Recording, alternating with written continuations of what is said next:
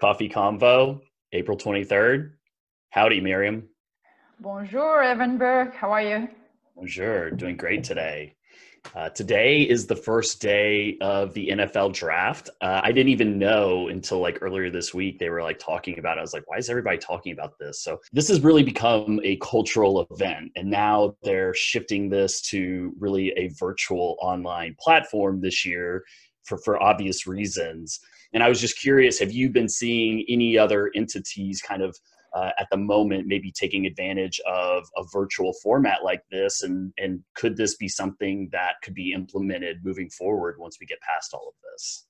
I don't think i've seen something like as an official event taking place virtually. I think a lot of the sports organization have had um, live webinar and events and online gathering. Uh, if you look at the Women's Sports Foundation is doing this, uh, the, the Olympic Committee, uh, several of the different Olympic committees.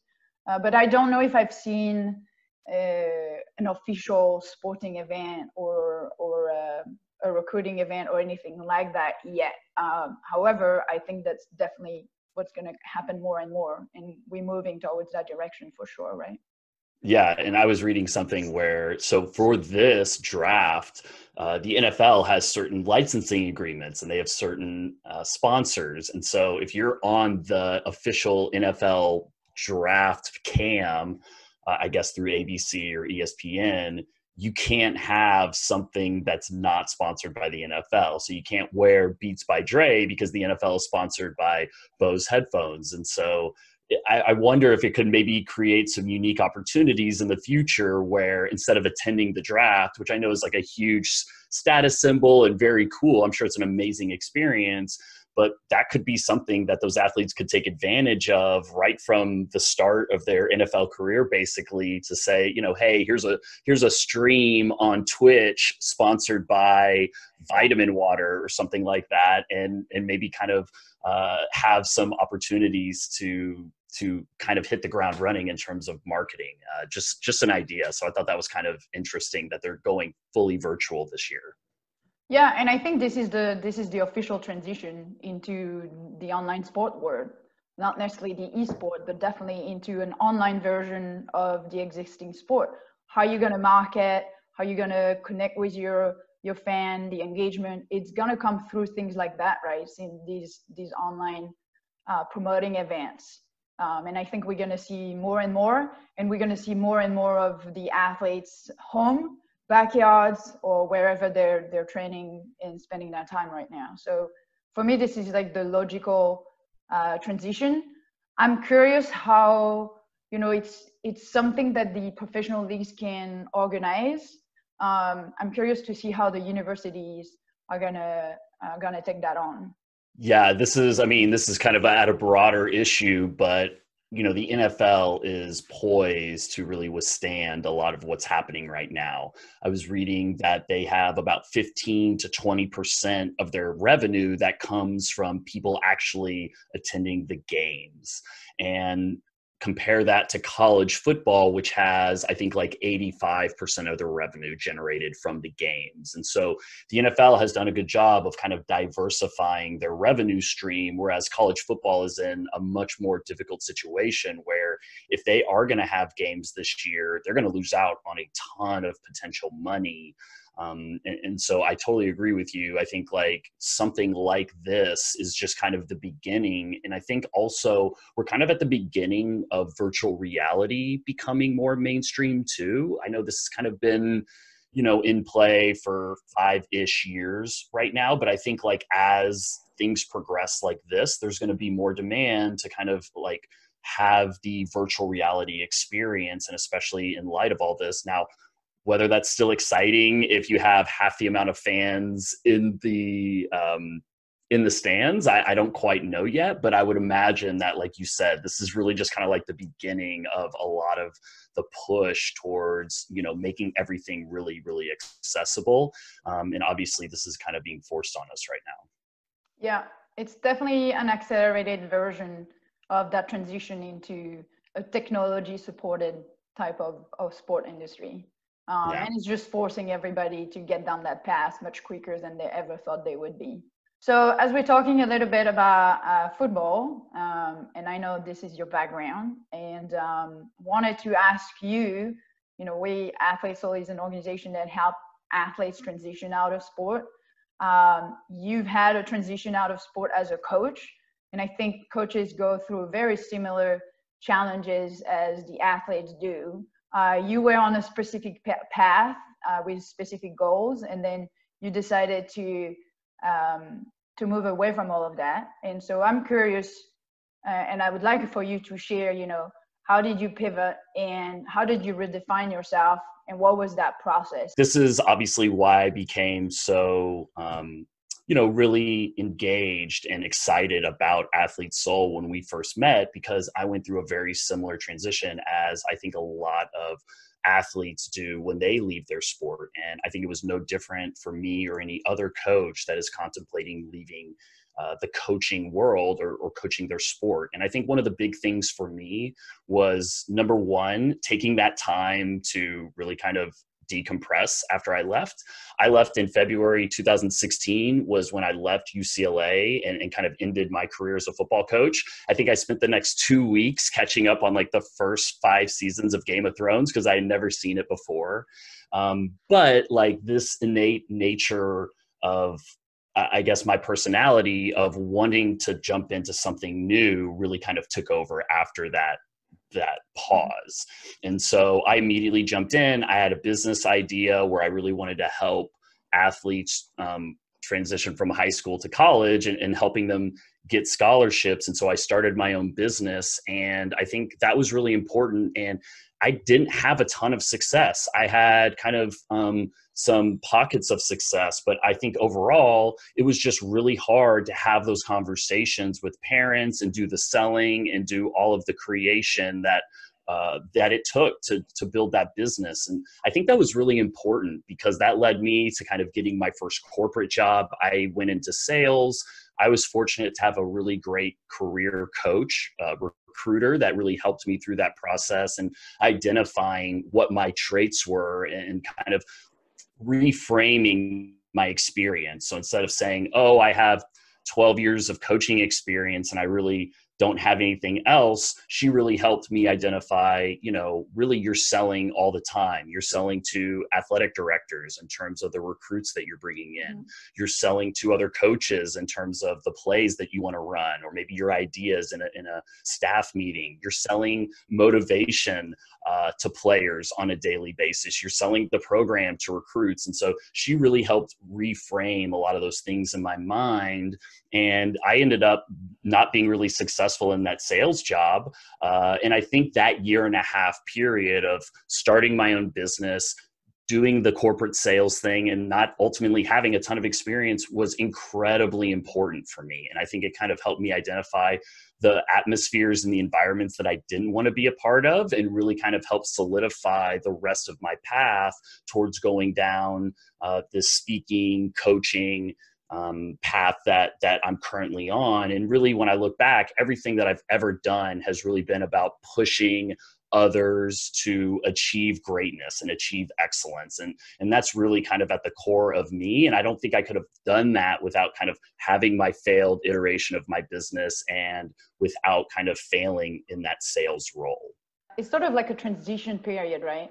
Um, whether you're a coach or an athlete or anybody transitioning is the ability to be um, occupied during that that first year or two years after you retired from another job. So you've got your hands into something that occupies you that keeps you focused onto something um, so that you're not lost uh, but that also provide you with a different experience. And it might not be something that you like but that's okay. And i think a lot of athletes have gone through routes that they didn't like but that's what they learned. They learned that that's not what they wanted to do or they learned that's how they failed.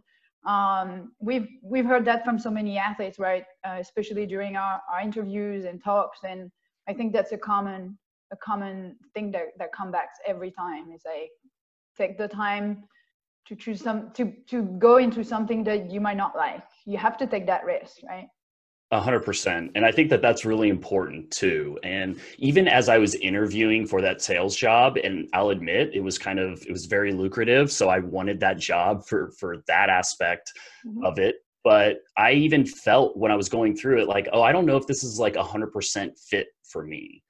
But I had a lot of natural skills that lent itself to sales. And I think that even just trying that, uh, knowing kind of the whole time that this isn't like a great fit, I think that was an incredibly positive experience. And it's taken a lot of time, excuse me, for me to like reframe that in my own mind. I think initially it was really hard. I, in coaching, I had never been fired from a job.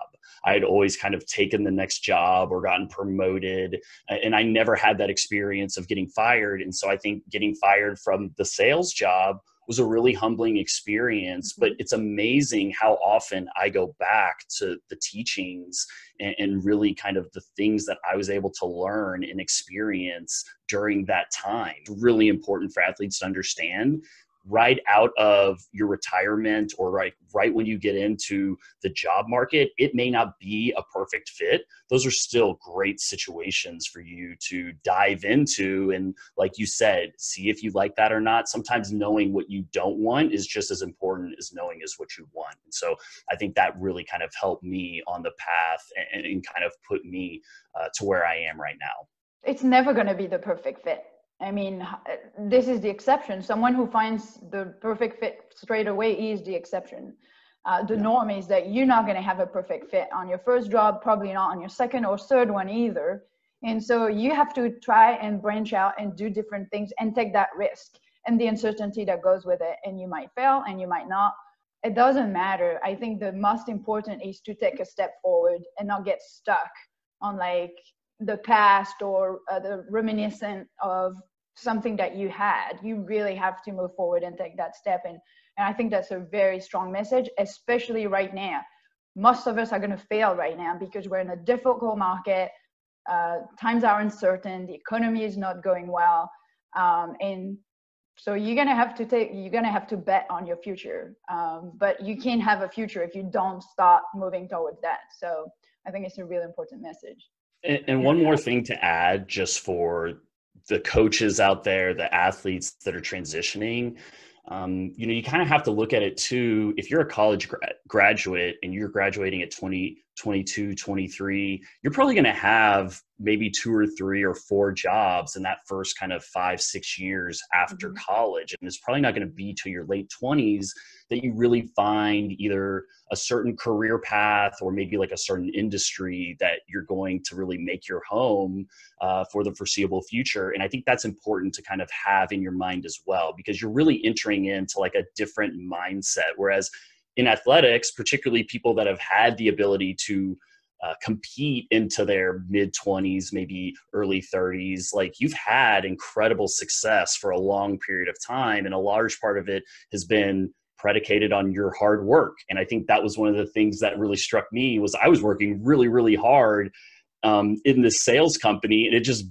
wasn't clicking for me and that's perfectly fine uh, that can be frustrating in the moment but i think as i start to like be more removed from that time, I really look back and I'm like, oh, wow, I really learned a ton, even though I wasn't incredibly successful. So I think just kind of understanding that you're probably going to have to do two or three jobs before you actually find one that really is a really good fit for you is important as well.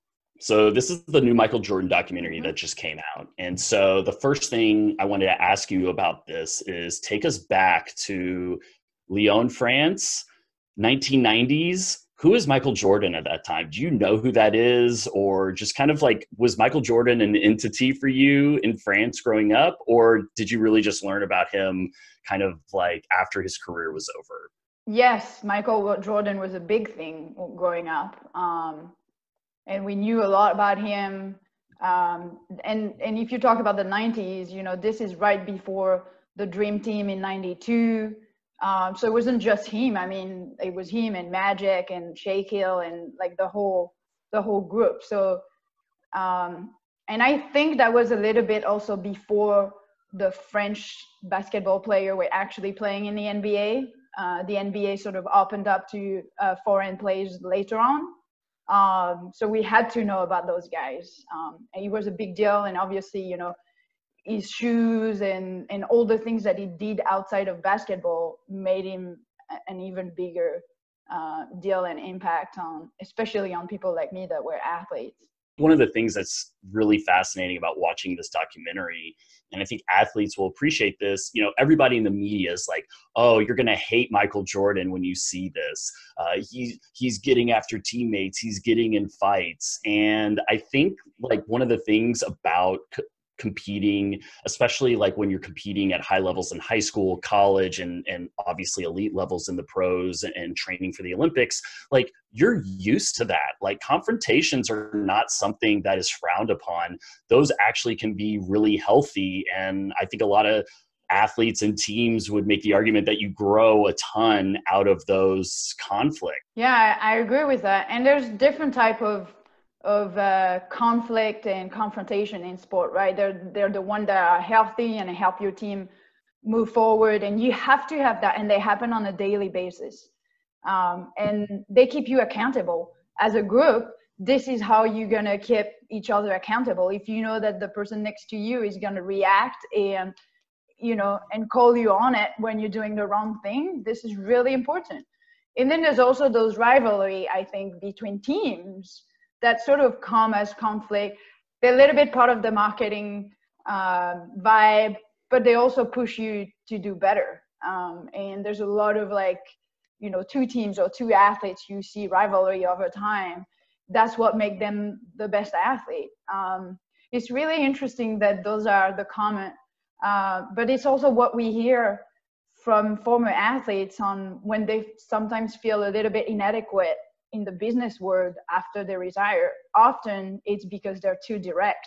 They're they're so used to confrontation and conflict that in the workplace they will share their feedback on anything and everything and it's not always welcome. You know a lot of athletes or, or former coaches get directed into sales because they innately have that that fire to to kind of be competitive no matter what the situation is whether it's a board game or or maybe uh, uh, hitting your sales quota. So yeah I, I totally agree with that. And it just kind of struck me that everybody's making a big deal of it and i'm watching it and i'm like this is nothing out of the ordinary it seems mm-hmm. like. So well and uh, it's also not for athletes it's not a reflection of your your personal value.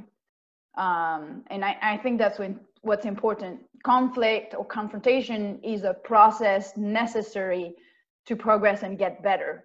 And so you remove all personal judgment just to like understand that the person next to you is trying to get you to a certain place the best coach I ever coached with was Frank Gansz, and he used to always tell the SMU football team that when we went into a team meeting room to watch film, that we were going to be attacking problems, and a problem was anything that kept us from performing at our highest level. And we always went back to that. So whenever we were in the film room and there was a problem, Coach Gansz would certainly attack that problem but we always let it be known that the the problem was not personal the mm-hmm. attack was not personal and we were all doing it because we wanted to perform at our highest level and so i think that's really an important piece too is that like if everybody is bought into that culture then it really kind of unleashes the power of those conflicts as everybody likes to kind of frame them well, thank you so much, Myriam. I'm out of coffee, so I'm going to go run and get a refill. But this was lovely, and let's do it same time next week. Sounds good, Evan. Thanks.